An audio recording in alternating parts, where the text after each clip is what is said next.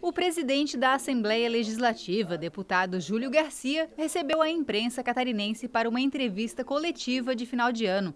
Ele conversou com os jornalistas na sala da presidência e fez um balanço sobre as atividades no parlamento ao longo de 2019. Entre os pontos destacados por Júlio Garcia estavam as várias medidas adotadas pela Assembleia Legislativa para economizar recursos e também na área de sustentabilidade. Acho que a grande virtude do homem público é andar adequadamente ao seu tempo.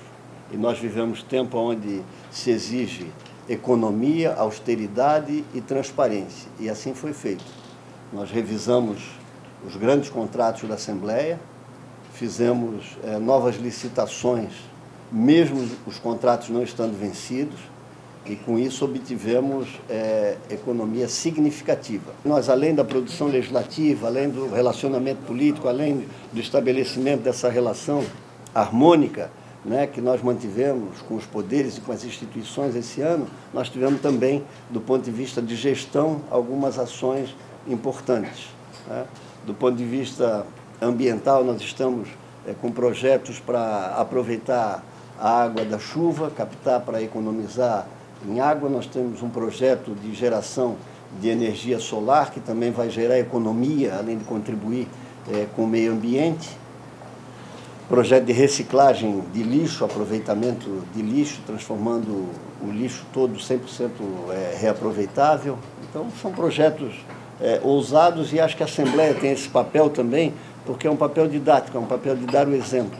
Outro ponto de destaque abordado por Júlio Garcia foi a questão dos incentivos fiscais. Foi um ano especial para a Assembleia, de um protagonismo é, muito importante né?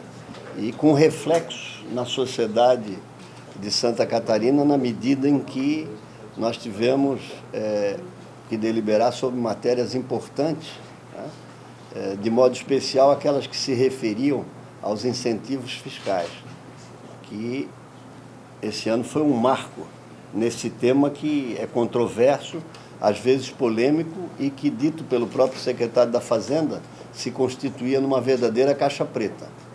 Eu acho que acabou a, a caixa preta e a partir do momento que essas deliberações são feitas pela Assembleia Legislativa, elas passam a ser transparentes. O presidente também falou sobre a reforma da Previdência dos servidores públicos estaduais. A proposta foi encaminhada pelo governo no final de novembro e deverá ser analisada pelos deputados da Assembleia Legislativa a partir de fevereiro do ano que vem. Eu acho realmente uma temeridade você mexer com a vida das pessoas, né, e não são poucas, são milhares de pessoas né, que mexem na, na, na vida delas, das suas famílias é, e você não lhes dá o direito nem de argumentar.